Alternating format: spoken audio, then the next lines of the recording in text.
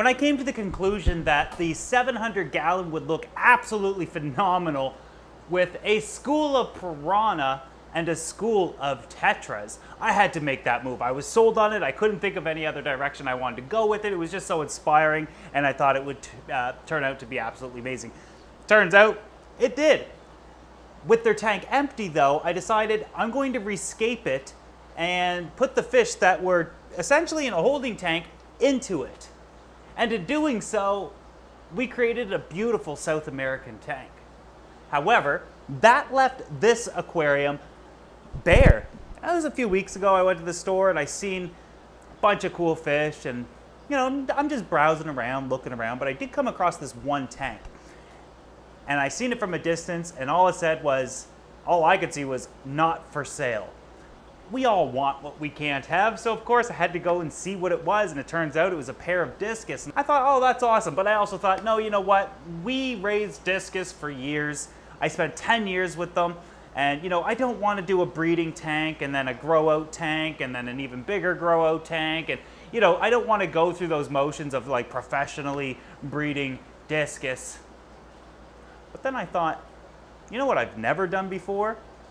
Kept discus with the intent to breed them in a naturally set up aquarium. And if I were to ever do that, how would I go about it? Obviously, I kind of want to start off with the sand. In a natural tank, a lot of times we do want to see a sand. I went with a very fine brown sand for a couple of reasons. Color was important there, and when you are getting into discus, a lot of the times, the color of your scape highly affects the coloration of the discus. Fine sand for a very simple reason.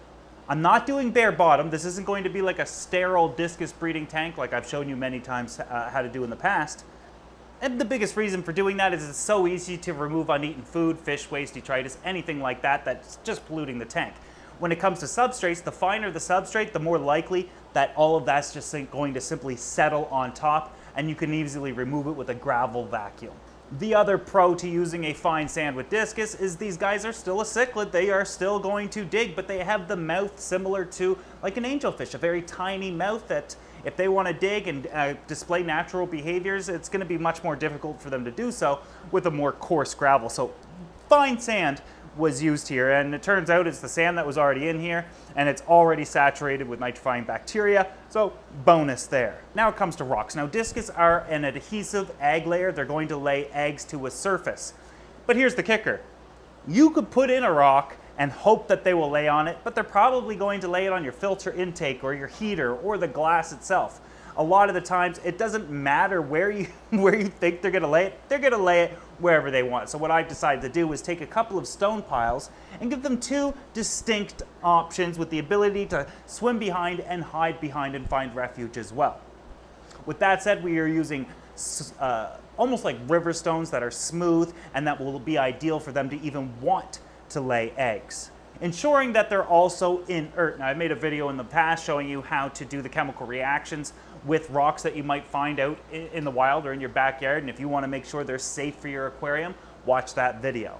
When it came to the wood, this is actually a combination of Malaysian bogwood as well as some manzanita. The manzanita are the couple little smaller branches, but you'll notice one thing uh, between them.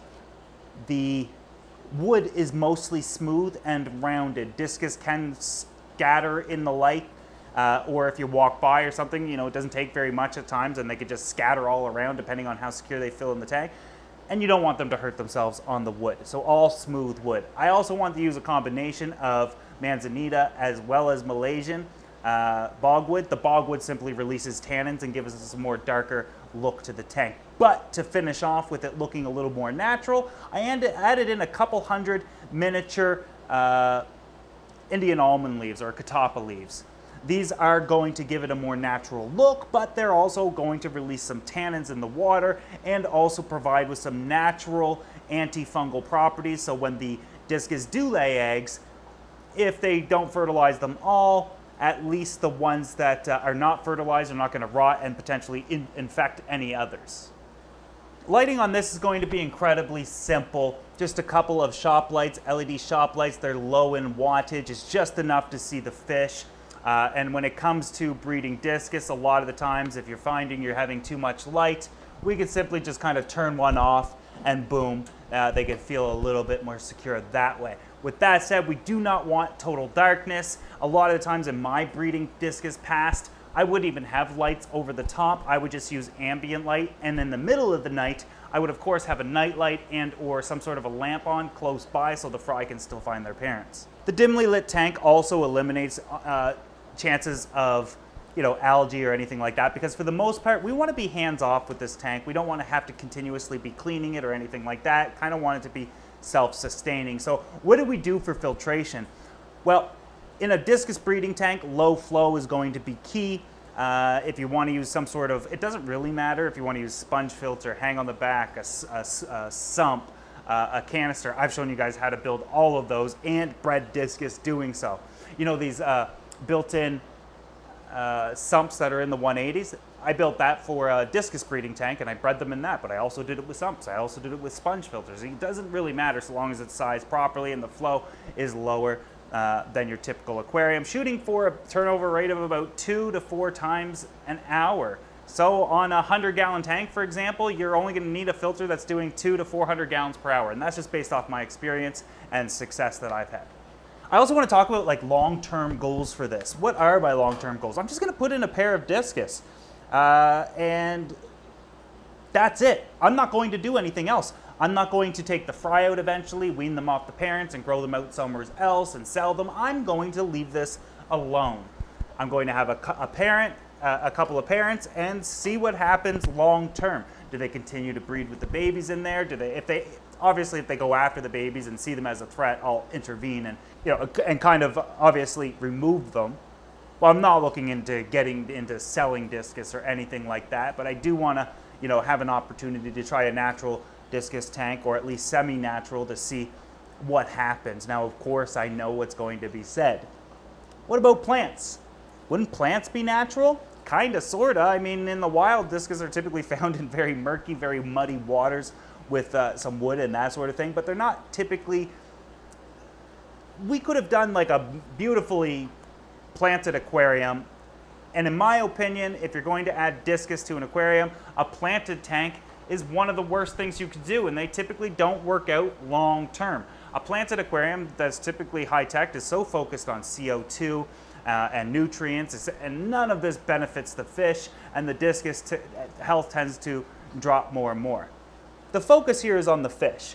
If I'm looking to add in plants, then I got to worry about lights and nutrient levels, CO2 potentially, and a number of other things. This is all I believe that I need. If you want to do something like this and, you know, add your plants in, go for it. But in my opinion, the less that you have to, the less focus you take off the fish and the more work you put into other things and, you know, concerns of lighting and plants and nutrients and CO2, the less success you're likely going to have. There are concerns that I have when it comes to this tank. Typically speaking, when I'm breeding discus, I do it in a 20 to 30 gallon tank. Yes, you know, four to six inch discus, a pair, do wonderfully in a 20 to 30 gallon tank uh, to breed them in. Uh, it offers sense, a sense of security. You know, you kind of paint all the sides and whatnot. And that is not the case with this. None of the sides are painted. It is a 180 gallon aquarium. So I'm a little worried of having, seeing what happens there, but I'm pretty sure we're going to be okay. Anyways, with this tank set up, the next video you're likely going to see is me going to the fish store, picking up the fish, uh, doing a tour of that store, you'll get to meet that the owner and whatnot. I think you're really going to enjoy that store. And of course, if we are able to secure the discus that are not for sale, uh, we've already kind of talked this. I wouldn't have done this if I didn't know I was going to be able to get them. But um, so cats out of the bag, I'm allowed to buy them. so when we get them home, and, and then of course, one of the next videos after that is of course getting them home, acclimating them, get them in the tank, and then really talk about their necessities, the parameters of the water, diet, uh, and other needs that you guys probably are curious and wondering about that uh, I used to talk about for years and years on this channel when I was breeding discus and you know I haven't really had the opportunity to do it anymore but the things that you're going to learn from that video you can apply to the remainder of your hobby and I can assure you you're going to have just as much success as I do. Anyways, hope you've enjoyed this video and as excited as I am to begin this journey of a naturally set up uh, or a natural breeding discus tank. I'm not sure what, what I'm going to call it, but as I am, but uh, I think you guys are. If you're not subscribed to this channel yet though, and this is something you want to see, make sure you are. If you're not already, I'll see you guys in the next video.